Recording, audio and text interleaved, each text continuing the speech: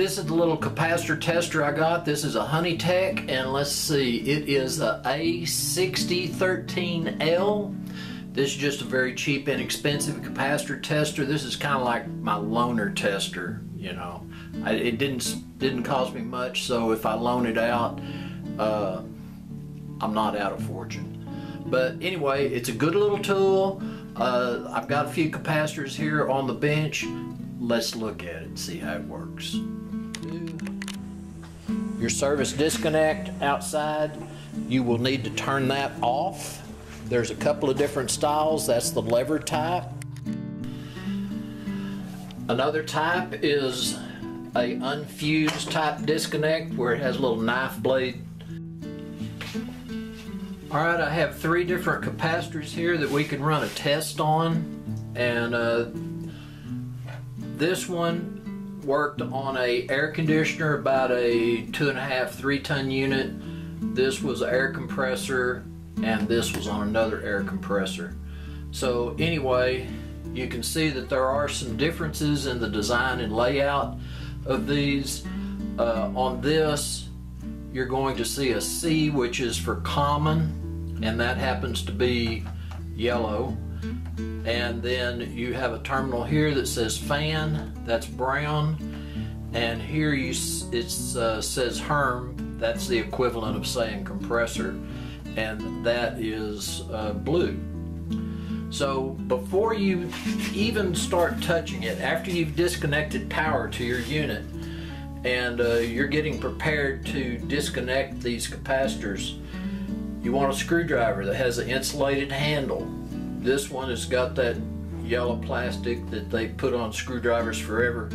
And in addition, it's got this insulated grip. So you can just take it short across every which way and that way it'll dissipate any uh, electricity that this capacitor may have stored. Uh, it can uh, hurt you if you touch this uh, and it hadn't been discharged. So be sure and short it out and then it's going to be safe. This you do the same way. You'd short it out. This one, this style, you do it the same way. And these are just three examples. There's a lot of different capacitor designs out there. But on this little uh, HoneyTek, what I'm going to do is this capacitor in uh, microfarads because what it says I hope you can see that 145 to 174 MFD and that means microfarads so this should be in the range of 145 to 174. So this is three digits, so I go up here to microfarads on 200. And so we hook this up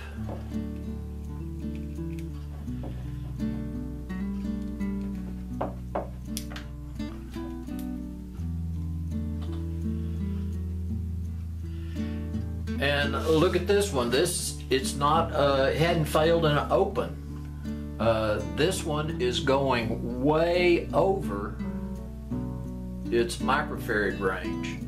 So there is something internally going on.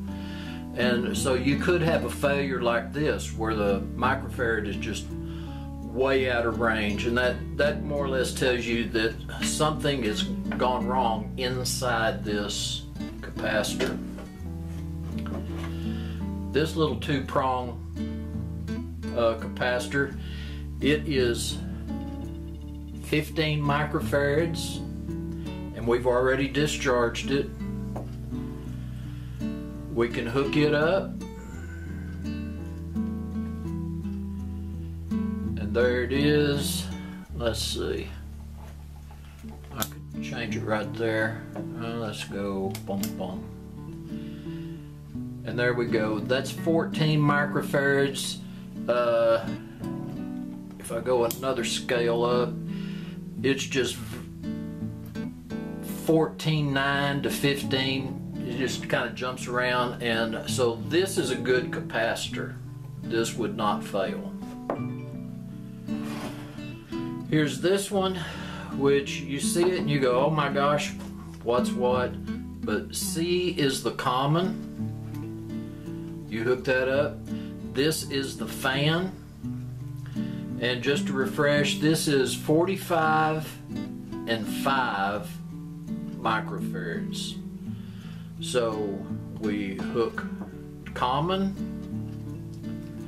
and fan.